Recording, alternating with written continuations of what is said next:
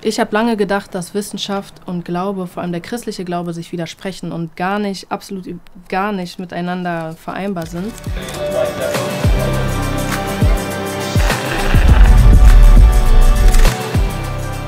Es ist nicht so, dass nur weil man vielleicht etwas mehr verdient, dass, dass man da nicht auch Phasen im Leben hat, wo, wo man sich fragt, warum mache ich das eigentlich? Was ist der Sinn von dem Ganzen? Was ist der Sinn vom Leben?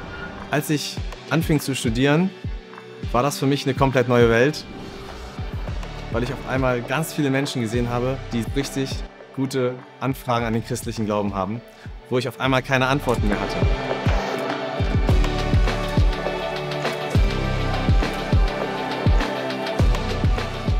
Beim Pontes-Institut ist es uns ein Anliegen, Brücken zu bauen zwischen Glauben und Denken, zwischen der Wissenschaft, unserer Kultur, den großen Fragen, die sich aus den aktuellen Herausforderungen ergeben und dem christlichen Glauben, dem Evangelium.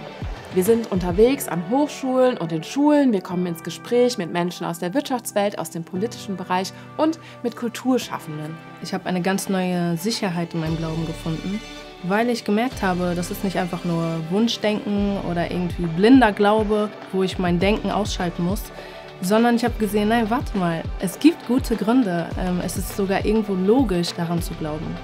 Wir halten Vorträge, Seminare, Dialoge, Debatten und sind ganz persönlich mit Einzelnen im Gespräch.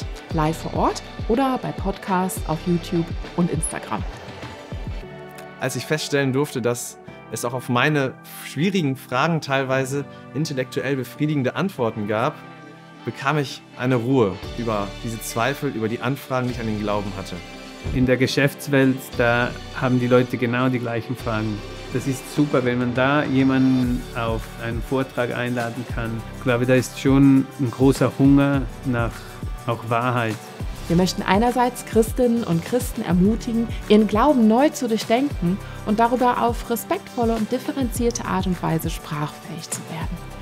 Und wir laden Skeptiker, Fragende und Suchende ein, sich mit dem Glauben an Jesus Christus auseinanderzusetzen, weil wir erleben, dass dieser Glaube sowohl intellektuell tragfähig als auch existenziell erfüllend ist, dass er das Leben bereichert und Herz und Hirn verbindet.